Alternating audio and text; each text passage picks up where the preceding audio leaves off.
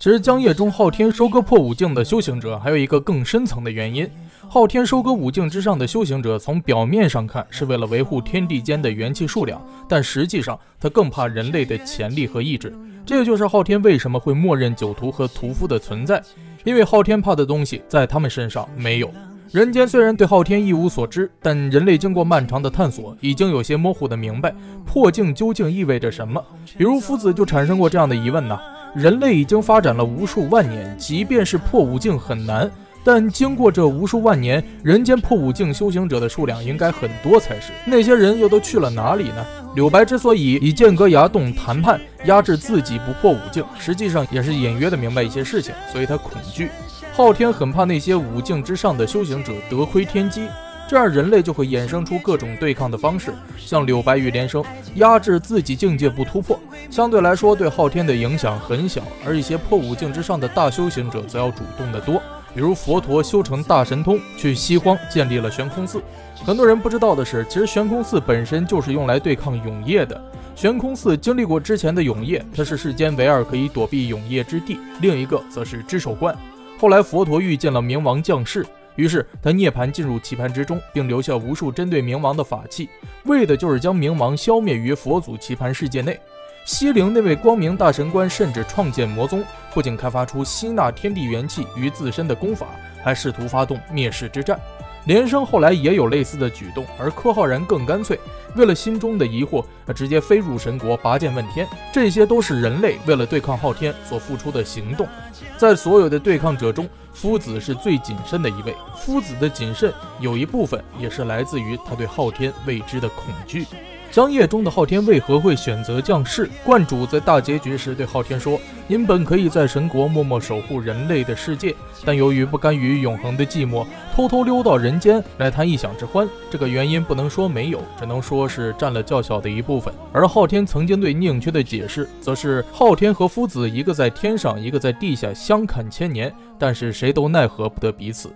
于是他以天算构织了一个自然之局，亲自降临人间。为的就是找到人间的夫子，然后邀请他上天一战。昊天的计划之所以会失败，是因为这个天算之局中，除了夫子和昊天，还有宁缺。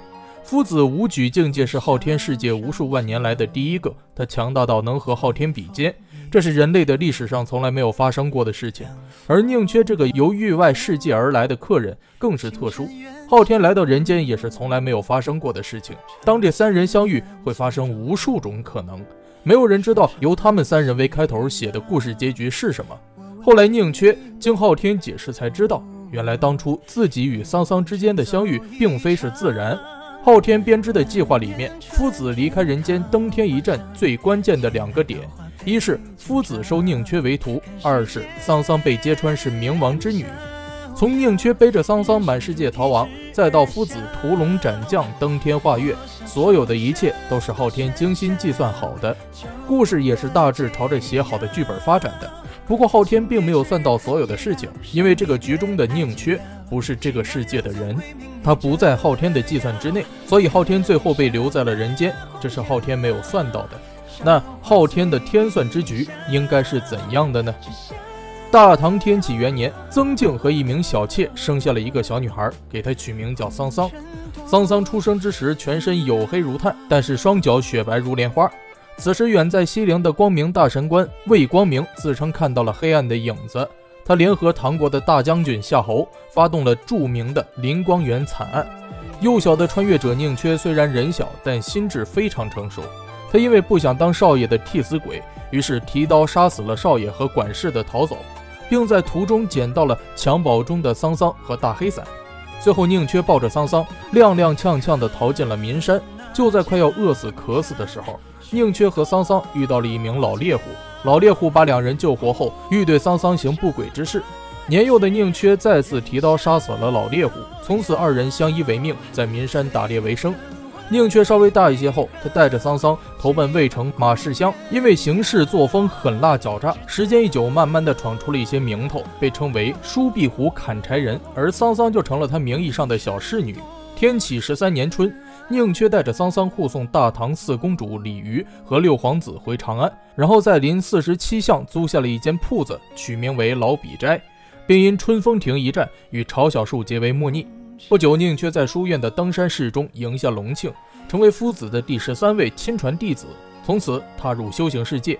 桑桑也顺利成为宁缺的本命物。